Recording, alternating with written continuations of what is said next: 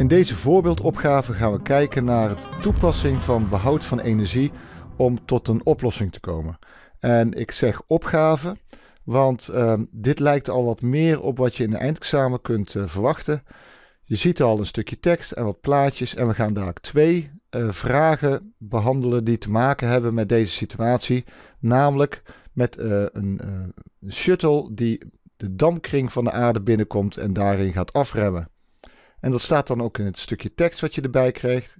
Uh, de shuttle remt door de grote luchtweerstand af. Hij verliest veel van zijn energie. Die energie wordt omgezet in warmte. En je krijgt ook een, een, eh, een grafiek waarin je kunt zien hoe de snelheid afneemt in de loop van de tijd tijdens het afremmen. De eerste vraag die we gaan bekijken is de volgende. Bepaal met behulp van figuur 3 de afstand die de shuttle aflegt tussen de punten A en B. Nou, even nog terug naar het plaatje. Dan zie je die punten A en B staan. En um, ik heb het al uh, dik aangegeven, het woord bepaal. We moeten hier iets doen met een grafiek of een uh, tabel. Nou, het staat gewoon letterlijk in de vraag. We moeten iets doen met figuur 3. De, het VT-diagram dat staat afgebeeld in figuur 3. En wat moeten we doen? Het is ook vet gedrukt, heb ik ook vet gemaakt. Het zou dan kunnen markeren tijdens het examen. We moeten een afstand bepalen. De afstand die wordt afgelegd tussen punten A en B. Ja, hoe kun je dat dan doen? Um, daar heb je natuurlijk een stukje uh, voorkennis nodig. Dat is, dat is een kwestie van leren en oefenen. Je ziet een VT-diagram en je zegt tegen jezelf: ja, wacht eens even, in een VT-diagram kan ik altijd de afgelegde weg uh, bepalen, want die is altijd gelijk aan het oppervlak onder de grafieklijn. Dus we moeten hier het oppervlak bepalen onder de lijn. En daar heb je verschillende methodes voor en ik ga er twee laten zien. Methode 1 is uh, niets anders dan simpel hokjes stellen. Maar voordat je dat gaat doen, moet je eerst voor jezelf afspreken of moet je nagaan, ja, hoeveel is nu eigenlijk één hokje dan waard? Nou, ik heb hier één hokje uh, even gearceerd weergegeven. En één hokje wil op de x-as zeggen dat dat uh, gelijk is aan 100 seconden. Moet je even goed opletten, want uh, er staat op de x-as 10 tot de macht 2 tussen haakjes erbij. En op de y-as 10 tot de macht 3. Dus uh, het, het, blokje is 1 waard, maar dan moet je nog maal 100 doen. Op de x-as 100 waard, op de y-as 1000 waard. Het oppervlak van één ho hokje is al 100 maal 1000 is 10 tot de macht 5 meter. Want uh, natuurlijk is het oppervlak van één hokje ook een afstand. Ja, wat je dan gaat doen is uh, het aantal hokjes tellen en afschatten. Nu is dat hier nog net wel mogelijk. Als je echt nog kleinere hokjes hebt, is dit geen handige methode. Hier zou het nog net kunnen. En dan kom je uit op ongeveer 67 hokjes. Als je zelf uitkomt op 65 of, of 70, dan valt dat nog wel binnen de marge. 67 hokjes, elk hokje is 10 tot de macht 5 meter. Dat wil zeggen dat het totale oppervlak onder de grafieklijn gelijk is aan 6,7 maal 10 tot de macht 6 meter. Ja, hoe zit dat hier nou met de significante cijfers? Moet je even opletten uh, dat um, die 10 tot de macht 5 van zo'n hokje, dat dat geen meetwaarde is. Die 10 tot de macht 5 is gewoon een kwestie van definitie. Dus die doet niet mee voor de significante cijfers. Ik heb 67 hokjes geteld twee cijfers significant, dan moet mijn antwoord ook in twee cijfers. Um, methode 2 is uh, de methode die, uh, die ik zou aanraden om te kiezen, omdat die ook werkt, ook wanneer je uh, heel veel meer hokjes hebt. En methode 2 is dat je eigenlijk tegen jezelf zegt: ik ga proberen om van deze gekke figuur een rechthoek te maken. En van de rechthoek kan ik dan heel makkelijk het oppervlak bepalen. En wat houdt dat dan in? Als ik een rechthoek maak, dan ga ik dus een horizontale lijn trekken in mijn grafiek. En uh, dat gaat ervoor zorgen dat een gedeelte van mijn oorspronkelijke uh, oppervlak uh, boven die lijn zal vallen. Dat, zal, dat komt dus als tekort. Die neem ik niet mee in mijn oppervlak. Maar aan de andere kant zal ik ook een stukje wat eigenlijk buiten de grafiek valt, zal ik extra meenemen in mijn oppervlak van mijn rechthoek. Ja, en wat ga ik dan doen? Ik ga dan met mijn geodriehoek ga ik, ehm, op het oog, hè, want het is ook afschatten dit, ga ik zo proberen een, horizontale lijn te trekken dat het oppervlak wat tekort uh, komt ongeveer even groot is als het oppervlak wat ik aan de andere kant als extra meeneem. Nou, hier komt mijn geodriehoek. Ik ga een beetje schuiven. En dat doe je echt op het oog. En de ene zal hem net iets hoger of lager leggen dan de andere. En dat kan allemaal goed zijn. Het valt allemaal binnen de marge als je dat zo goed mogelijk doet. En ehm, ja, ik kom op deze waarde uit. Um, op, mijn, op het oog is het uh, oppervlak wat er nu linksboven uitsteekt ongeveer even groot als het oppervlak wat er rechtsonder extra bij komt. En ik kan hier dan een uh, rechte lijn tekenen. En ik heb een, uh, een rechthoek gemaakt. En ehm, ik heb hier het rechthoekje gearceerd. En het laatste stukje is niet zo moeilijk. Ik moet even goed aflezen welke waarde ik heb, um, op welke hoogte ik mijn lijn heb getekend. Nou, ik kom uit op 4,4 x 10 to 3 meter per seconde. Uh, de lengte is uh, 15 x 10 to 2 seconden.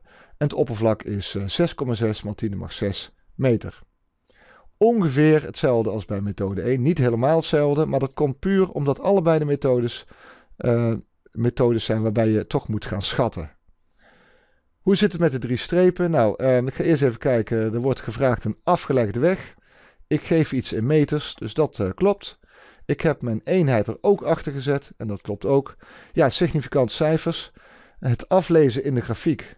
Ja, dat kan echt niet, niet op meer dan uh, twee cijfers significant. Zeker op de y-as. En dat houdt in dat ik uh, uh, dus ook mijn antwoord in twee cijfers significant geef. En dat is dan ook goed gedaan. En mijn derde streep mag eronder. De tweede vraag van deze opgave gaat over dezelfde situatie. Maar ook hier krijgen we eerst een stukje tekst. Dat is typisch iets voor een eindexamen. Een stukje tekst met uh, wat nieuwe theorie.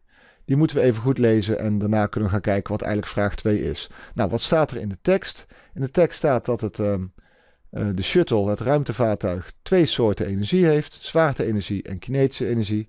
Samen opgeteld noemen we dat de mechanische energie. En die mechanische energie die zal gedurende het afremmen in de lucht afnemen. Want alles wat er bij de mechanische energie afgaat, wordt omgezet in warmte. We krijgen nog wat dingen gegeven. We krijgen de zwaarte-energie uh, op punt A, de zwaarte-energie op punt B en de massa van de shuttle. Nou, die heb ik alle drie al eventjes uh, vet gemaakt. Die ga ik dadelijk vast nodig hebben. En ik ga nu eens rustig kijken naar wat wordt uh, eigenlijk gevraagd. En de vraag is, bepaal hoeveel warmte is ontwikkeld tussen punten A en B.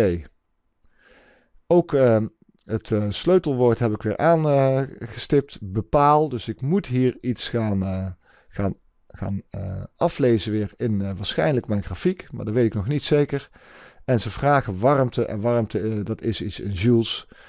dus er moet dadelijk een antwoord uitkomen in joule. Om dit op te kunnen lossen moet ik een energiebalans gaan maken. En die energiebalans die ziet er als volgt uit. En eigenlijk staat het ook al in het stukje tekst wat je net kon lezen. Die energiebalans luidt uh, dat de zwaarte-energie plus de kinetische energie opgeteld afneemt. Vergeleken als je kijkt van A naar punt B. En het verschil, dat is eigenlijk warmte geworden. De hoeveelheid mechanische energie die die is kwijtgeraakt, is omgezet in warmte.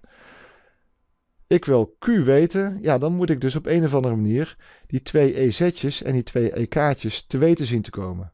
Nou, die EZ'tjes is makkelijk, want die waren gegeven in de tekst. Ik heb ze hier nog een keer neergezet. De EZ in punt A en de EZ in punt B, die waren allebei al gegeven. Dan wordt nu de vraag, hoe kan ik de kinetische energie in punt A en punt B achterhalen? En um, ja, daar heb je een klein beetje inzicht bij nodig. Kinetische energie, ja wat denk je dan? Kinetische energie, die is gelijk een half mv kwadraat. Schrijf die formule ook op, op je uh, toetspapiertje, want hiermee laat je zien hoe je redeneert. Um, die massa is de massa van de shuttle. Die stond gegeven in de tekst. Dan is het enige probleempje wat we nu nog hebben is hoe kunnen we achter die v komen, de snelheid. Ja, en dat is eigenlijk ook niet zo moeilijk, want we hebben figuur 3. En in figuur 3 staat de snelheid uh, uitgezet in de loop van de tijd. Dus we kunnen de snelheid aflezen. Ja, dan hebben we alle gegevens die we nodig hebben om die kinetische energie uit te rekenen in zowel punt A als punt B. Nou, dat gaan we even doen. We gaan uh, even netjes de snelheid aflezen in figuur 3 op punt A, en dat is op tijdstip t is 0. En die snelheid gaan we invullen in de formule half mv kwadraat. Nou, dan krijgen we deze uh, vergelijking.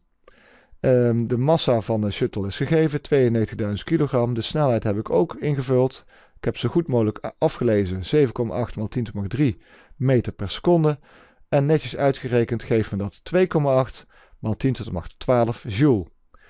Hetzelfde kan ik natuurlijk doen in punt B. Ook dat kan ik aflezen. Dat kan ik invullen. En dan krijg ik 3,7 maal 10 tot de macht 10 joule eruit.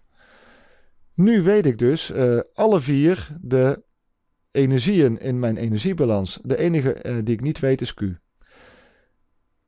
En ik kan Q nu dus uh, vrij simpel uitrekenen. Nou, hoe ga ik dat doen? Ik ga eerst even die energiebalans omzetten, zodat er staat Q is. En uh, dan ga ik alle vier de EZ'tjes en EK'tjes invullen. En dan krijg ik deze vergelijking. En dan is het netjes mijn rekenmachine gebruiken. En dan kom ik uiteindelijk uit op dit antwoord. En um, dan is het weer tijd voor de drie strepen. Streep 1 is geef ik antwoord op de vraag. De vraag is bepaal hoeveel warmte er is ontwikkeld. Ik heb een Q, dus dat klopt. warmte heeft als eenheid joule, heb ik erachter gezet, dus dat klopt.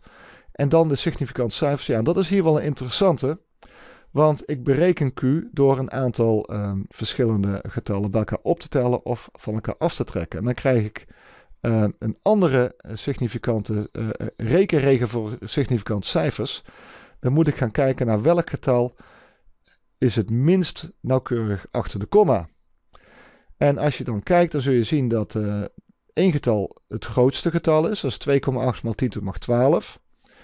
En die komma 8, dan zit je in de, in de regio 10 tot de macht 11. Dus die is tot op 10 tot de macht 11 nauwkeurig. Alle andere getallen zijn kleiner dan uh, 10 tot de macht 11 of even groot als 10 tot de macht 11.